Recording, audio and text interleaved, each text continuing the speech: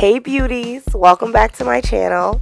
Sorry it's been a while, but I've been super busy being a pageant girl. I know I sound super fuzzy right now, it's because I've been sick all week, so bear with me.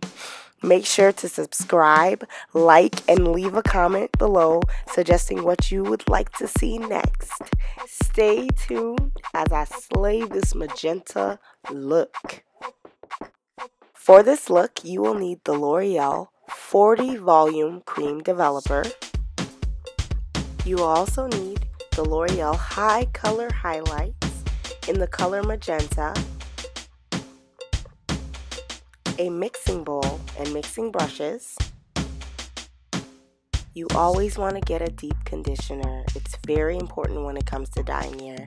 I know sometimes it can be a pain, but it just gives your hair that glossy and nice finish. The last thing you'll need is a hairbrush. This just helps to eliminate tangles as you're dyeing your hair. Now let's get started. I'm going to start off with the frontal first. I've already pre-mixed my dye, so I'm just going to get right into it.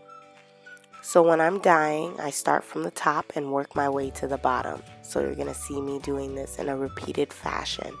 And again, you need to brush your hair before you start this so you can get every piece as you are dyeing.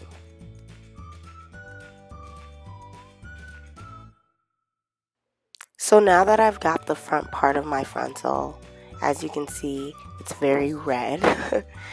um, I'm gonna keep adding to the parts that I want to show the most red. I'm gonna speed it up here.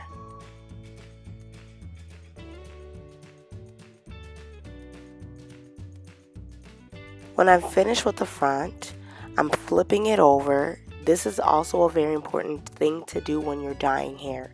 You flip over your hair and you get the back. And as you can see, my sister's helping me out. And I'm going to continue doing the same method on the back of this frontal. Now onto the bundles. This is the longest bundle. It's a 22 inch. So I'm not doing the top because you're not really going to see it when we put the wig together. But I'm doing the same method. Top, working my way to the bottom. This is the best method I've ever used. It's worked for me every time. So keep working your way down. Get all the tips. You literally want to see no black.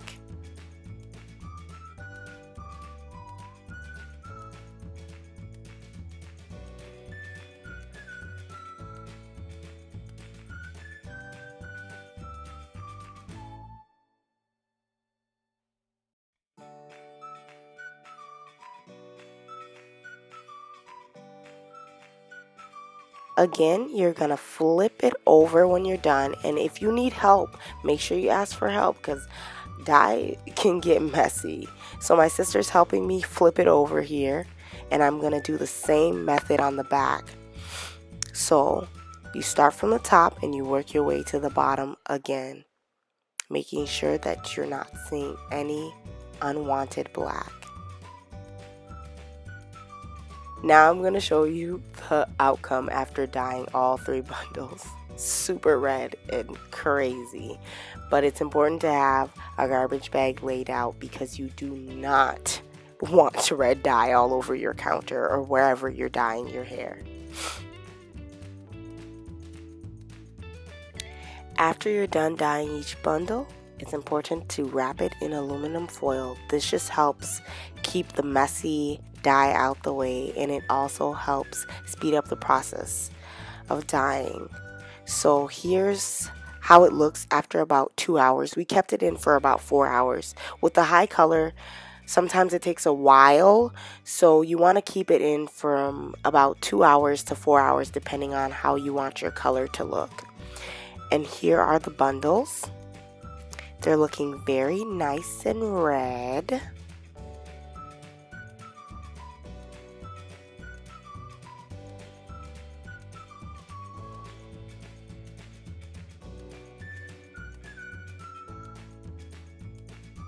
Here we have the final look.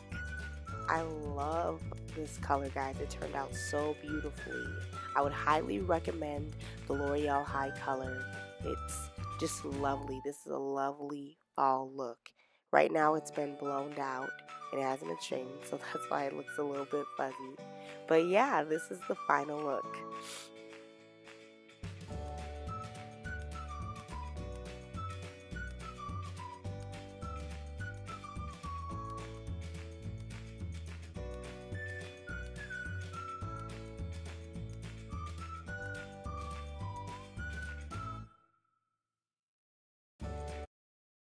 Yes, honey, slay.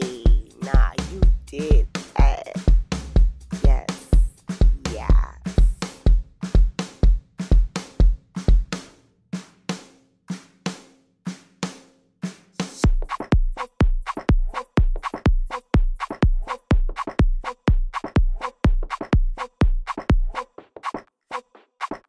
Like I told you guys, I've been super busy.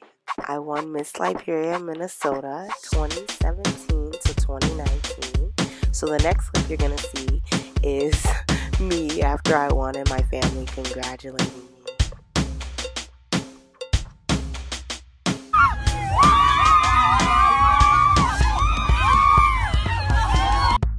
Thank you all so much for watching. Like I said, subscribe, comment, and like this video. See you next time, Buttes.